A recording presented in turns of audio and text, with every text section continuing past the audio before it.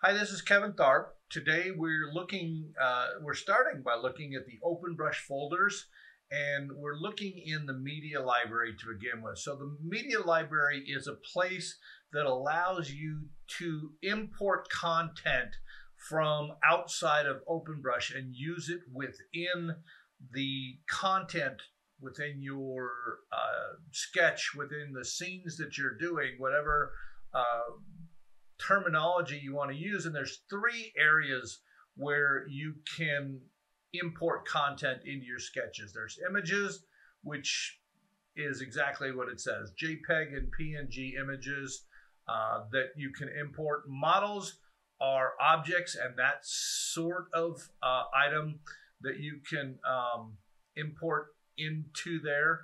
Um, so the supported model formats are OBJ and FBX, um, and then videos uh, as well. So uh, MP4s is, is what I've been using. We're going to go into OpenBrush. We're going to see what it looks like, but uh, these are the folders that you're working with. So you, you see some uh, images that I've got included in there. We'll be drawing them into our um, diagram.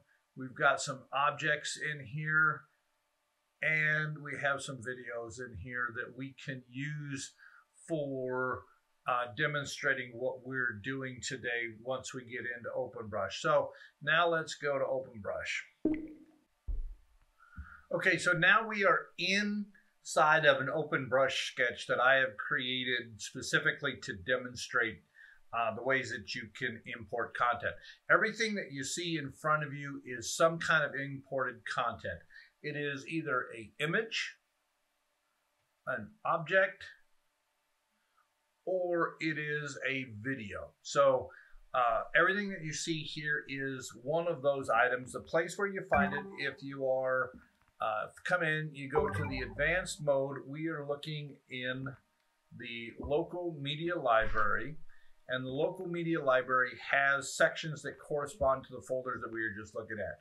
So there's local models, there's local images, and there's local videos. So these are all stored in those folders, and that is where you add them from. So for instance, this object right here is included right there. And the way that I got that, this actually came out of another sketch that I had done. So a different tilt brush sketch uh, I had used the experimental features and um, I'll go ahead and show you how to turn on the experimental features right now. So, because that may be the first thing you want to get to. So, in order to turn on the experimental features, because this is the only way to export this in this way, you go to settings and then you choose this little turn on experimental mode and then it'll restart. And when it restarts, you will have a panel like this, experimental, uh, somewhere available to you. When that happens, what you do is uh, first you have to have strokes in your uh, diagram. So I'm just going to select that stroke. Um, you need to select the stroke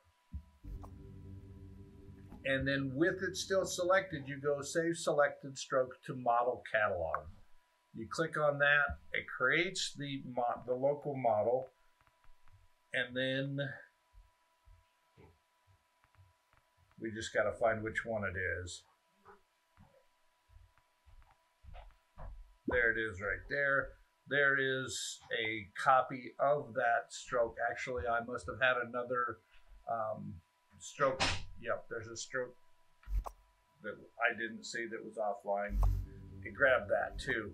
So, um, anyway, so that is now imported where everything that was selected as a stroke is now a model and you can import them and treat them all as individual items. Whereas here, they're treated individually. So that's how you get something like that to show up into your local models. Once you have access to those, you can import as many copies of that as you want into the same sketch, or you can import it into as many sketches as you want. Uh, so that is a, a, very useful tool, especially if there's something that you reuse regularly in different sketches, such as a signature.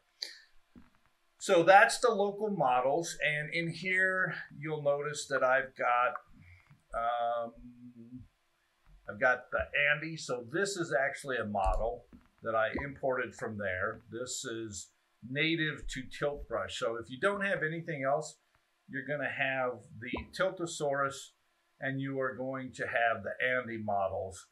And so uh, you can import those or you can import anything that's a .obj file. So if you're creating in uh, 3D software, you're creating 3D models, as long as you can export them as OBJs or what was the other one? I think it was SDKs. Um, you can import them into OpenBrush and use them within your uh, sketches. So local images, um, showed you this folder. These are the ones. Now in this case, you'll see that some of the things that I'm using, I have this picture uh, of myself that I used to create this model over here. Um, so the way that I created this model was that I imported this image and then I used it as a uh, tool for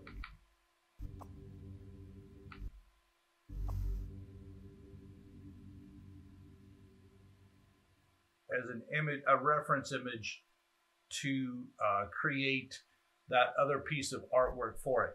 Then once I had that created, I selected all those strokes.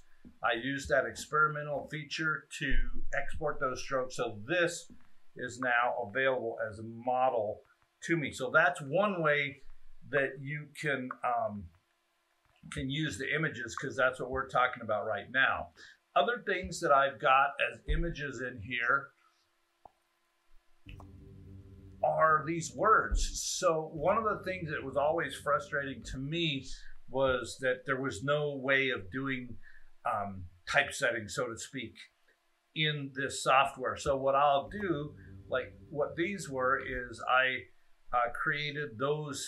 This is an image that I created in Word or Photoshop or whatever, and then I imported those into here as images and I can then bring text to my uh, my artwork in ways that I couldn't before.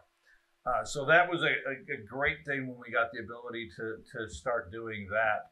And the third thing is videos. So when you get to the videos section, let me get rid of uh, some of these when you come to the video section, what you have is, and I've selected each of these three videos are videos that are in this local videos. And what you can do is whichever one you've selected last, you've got the ability in this media libraries folder, if you are on the videos, this panel, control panel that allows you to uh, affect the, the sound um, and the playback of the uh, item that you're dealing with are there for you to work with. So one of the things that is important to note is that with objects, and again, this is an object that I imported, a model that I imported from a previous sketch. This is three-dimensional. You can see it from every direction but anytime that you have a image or a video, it is uh, transparent when you come from behind. So it's only visible from that front angle. Uh, and so that's that's an important thing that you need to be aware of. But it's also a resource that you can use uh, in order to use these videos as part of the scene that you're setting up. So I'm going to turn this one on and I get that control simply by touching it. And I don't have to have my selection tool on when I'm doing this. All I have to do is touch it. And you'll notice that whichever one I click upon, actually I don't even have to click it. As long as I touch it, I can switch that and I can set each of those to playing. And it will play, depending upon the capability of your system, it will play multiple um, videos.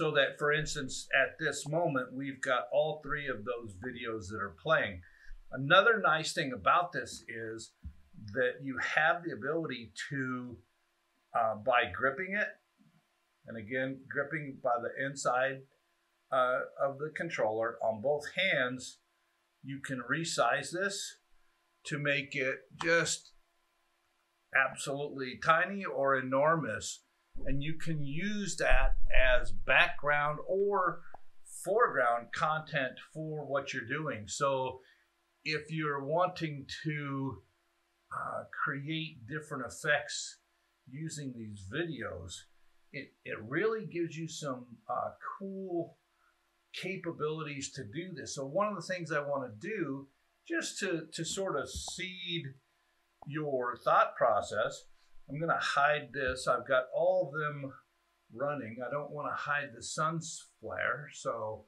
let me make this one a little bit bigger and let me move this one a little further back. Let me just set up the scene here for you. So we got the sun, we've got the nebula. Maybe we'll make this a little bit smaller. All right, and then what I'm gonna do, I'm gonna set this out of the way so it's not being seen. I'm gonna go to the spectator camera.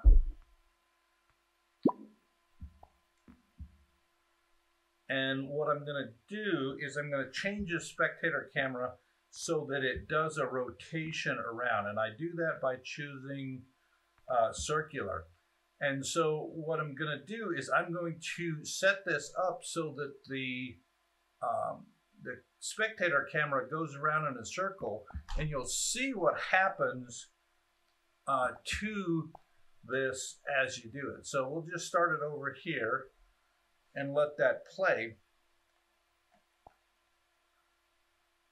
And you'll notice that as it goes around, those different uh, videos or pictures, images or videos have the ability to come in and out of sight based upon the direction that the camera is filming at that time. So that can make for some interesting tools uh, where you cannot see it through what from one direction, but the other direction you can. So you could set up some collages or whatever. The, the just another tool in your arsenal for uh, how to do this. Now I'm going to bring the spectator camera back over here and we'll go ahead and finish up this. So,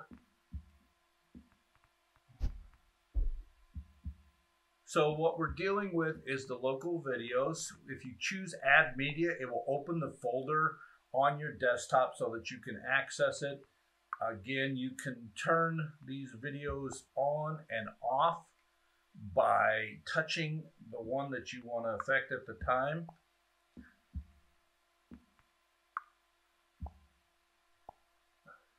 And there are the options for models, images, and local videos. So that pretty much uh, rounds out what we're talking about today. This is kind of the the last of the the tools that I'm going to be talking about in this series uh, that are related to scene creation. And that is what these tools are for, is they are to help you to create the scenes that you will later go on to film or export. And uh, that's all I've got for now. We'll talk to you later. Bye-bye.